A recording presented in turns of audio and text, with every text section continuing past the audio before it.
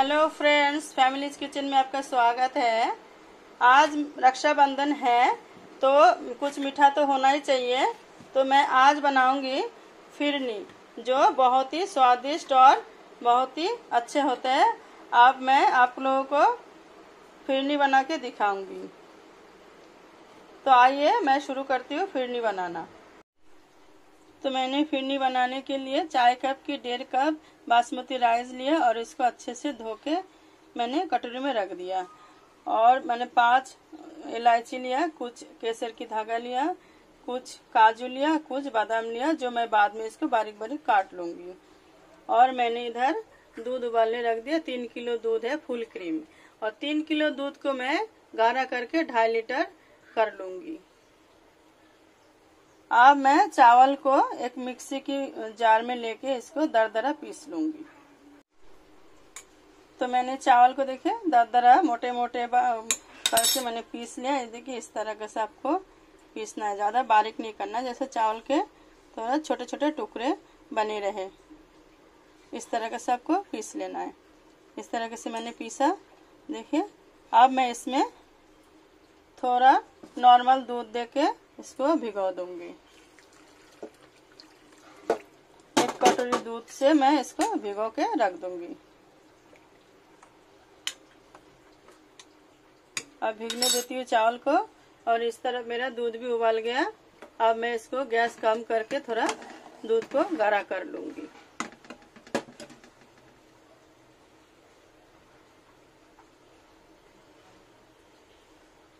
Gas को मैंने slow कर दिया।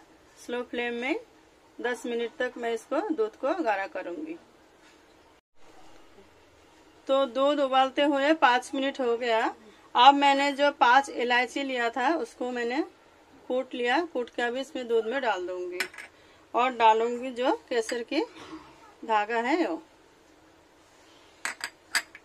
अब केसर के धागा मैं डाल दूँगी इसमें। अब अच्छे से मिला लेती हूँ।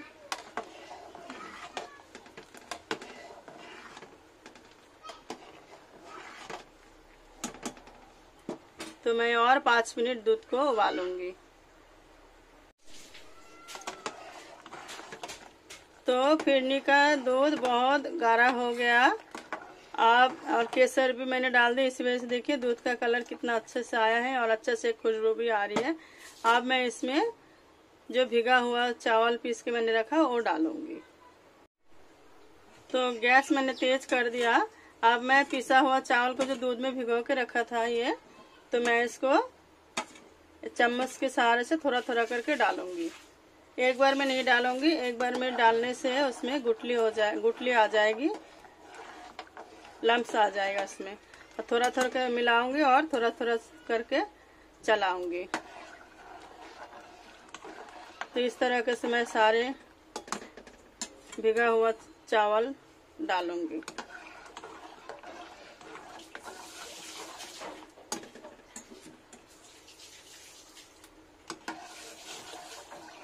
तो मैंने सारा चावल डाल दिया अब मैं इसको पकाऊँगी। कंटिन्यू इसको चलाना है। चावल डालने के बाद आपको रुकना नहीं है। नहीं तो ये नीचे से लग जाएगा और इसमें गुटलियाँ आ जाएँगे।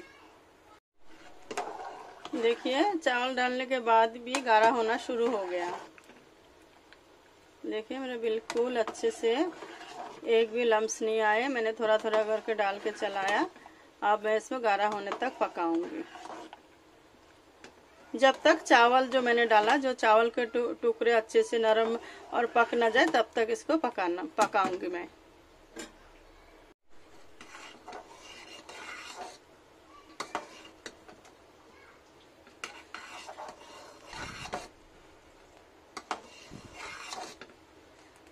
अब इसको अच्छे से देखे बहुत काफ़ी गाढ़ा हो गया मेरा चावल। और चावल आधा पक भी चुका है देखे कितने मोटे मोटे दाने हो रहे हैं। इस तरह से दाना हो चाहिए फिरनी में। इस तरह से आपको चावल पीसना है कि दाना दाना रहे। आप ज़्यादा बारीक पीसोगे तो दूध में डालते हैं, दूध गाढ़ा हो जाएगा और जो फिरनी में जो स्वाद है, मुँह में थोड़ा सा चावल का टुकड़े आना चाहिए, वो नहीं आएँगे। तो आपका फिरने अच्छे से स्वाद भी नहीं लगेगा। तो आपको इस तरह से चावल पीसना है आपको और देखिए बारीक बारीक टुकड़े टुकड़े अगर मोटा टुकड़ा हो तो आप थोड़ा सा छन्नी से छान लेना, फिर दोबारा उसको फिर करना। तीन चार मिनट पकाने के बाद और भी गाढ़ा हो गया है।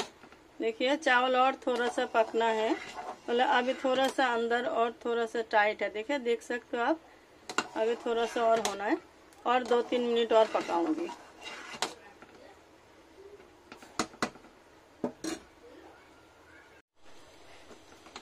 तो दो तीन मिनट और पका लिया मैंने।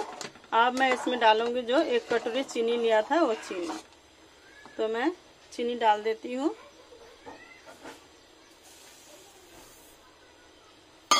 अब मैं अच्छे से मिला लूँगी।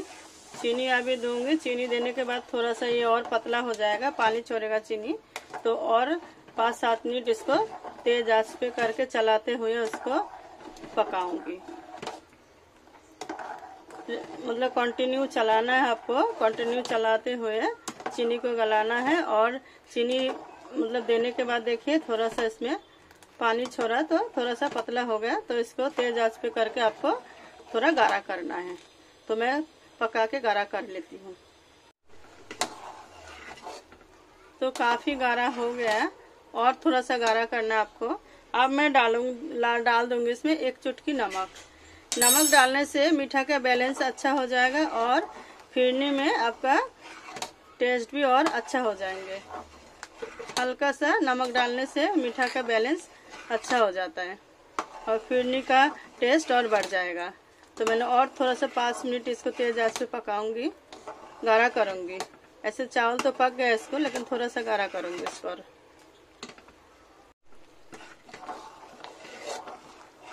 तो फिरनी मेरा बिल्कुल रेडी हो चुका है।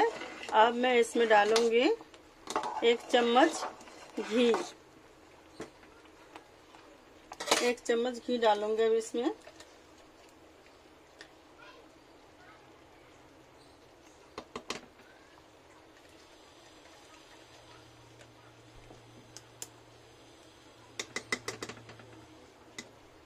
अब मिला दूँगी मैं इसको।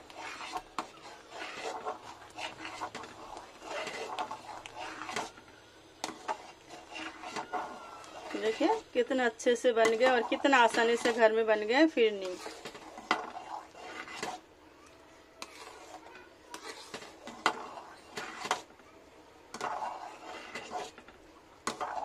बहुत परफेक्ट हो गए। इससे ज़्यादा गाढ़ा नहीं करना आपको, क्यों ठंडा होने के बाद और गाढ़ा हो जाएँगे।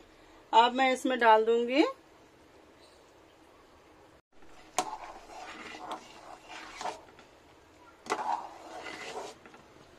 अब मैं इसमें डालूँगी एक चम्मच केवरा वाटर। अब मैं इसको अच्छे से मिला दूँगी।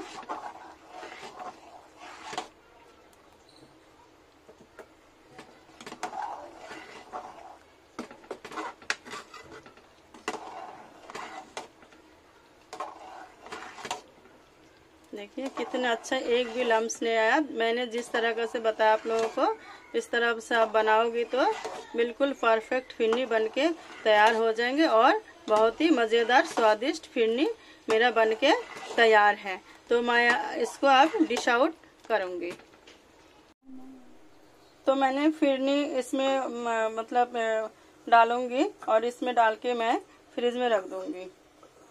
इसमें मैं साफ़ करूँगी। तो मैं इसमें सारे भर दूँगी फिरनी से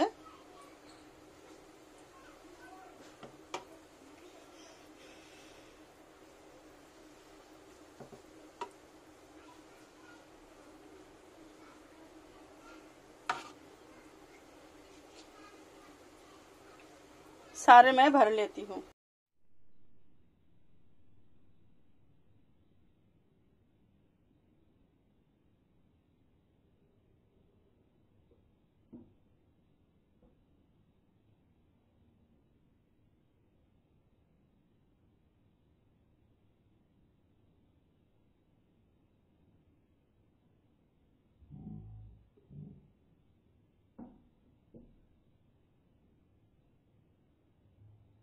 अब मैं इसके ऊपर से कटी हुई बादाम डालूँगी डेकोरेशन के लिए। आप चाहे पेस्ता भी डाल सकते हो, मेरे पास पेस्ता पे है नहीं, मैं बादाम और काजू डालूँगी।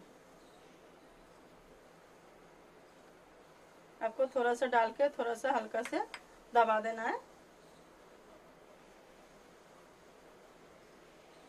देखिए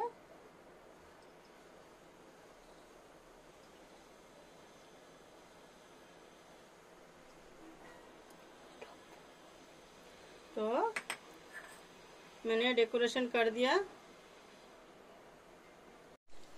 तो फ्रेंड्स, फिरनी मेरा टेस्टी, स्वादिष्ट फिरनी बनके मेरा तैयार है। तो कैसा लगा आप लोगों को मेरे बनाए हुए फिरनी की रेसिपी तो ज़रूर कमेंट बॉक्स से कमेंट कीजिएगा और अपने दोस्तों के साथ शेयर कीजिए और मेरे चैनल को प्लीज़ सब्सक्राइब कीजिए। मेरे आज की वीडियो देखने के लिए थैंक यू बाय बाय